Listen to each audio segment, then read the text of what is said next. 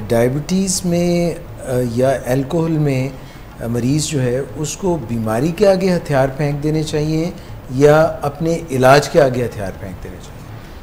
देखिए, ना तो बीमारी के आगे हथियार डालने की ज़रूरत है, ना इलाज के आगे हथियार डालने की ज़रूरत है। हथियार इस चीज़ में डालने की ज़रूरत है कि एक ऐसी चीज़ के साथ लड़ते रहना कि जिसके साथ आप लड़ नहीं सकते। यानी अल्कोहलिज्म में आप लड़ रहे होते हैं कि मैं कंट्रोल करूँगा इसको जबकि असल में शराब कंट्रोल कर रही होती है उस बंदे को। जब बहुत लोग समझते हैं कि शराब पीने की वजह से शराब की बीमारी पैदा होती है।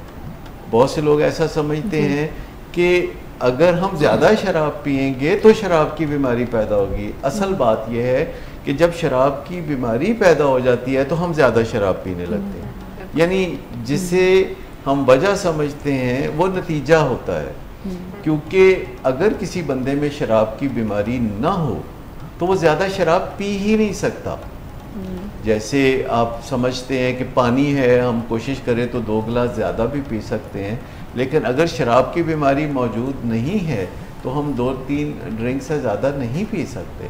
क्योंकि वो एक इनहेरेंट डिटरेंट होता है। जो कि पानी के बारे में भी है कि अगर आपको आज भी कहा जाए कि 10 गिलास पानी पिए तो आप गन पॉइंट पे भी नहीं पी सकते। हम्म। लेकिन जब शराब की बीमारी होती है तो 10 गिलास शराब लोग पी जाते हैं एक ही शाम में। खराबी नहीं मूड की खराबी है। शराब नोशी कभी भी नशे की बीमारी में बदल सकती है।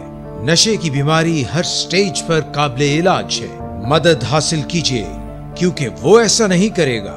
विलिंग वेज से मदद हासिल कीजिए। कहीं से भी मदद हासिल कीजिए लेकिन फौरी मदद हासिल कीजिए। जिस मुआवजे के इंतज़ार में आपने बहुत देर कर दी अब वो दस्तक दे रहा है। मदद मदद हासिल कीजिए। मदद मदद हासिल कीजिए। मदद मदद हासिल कीजिए।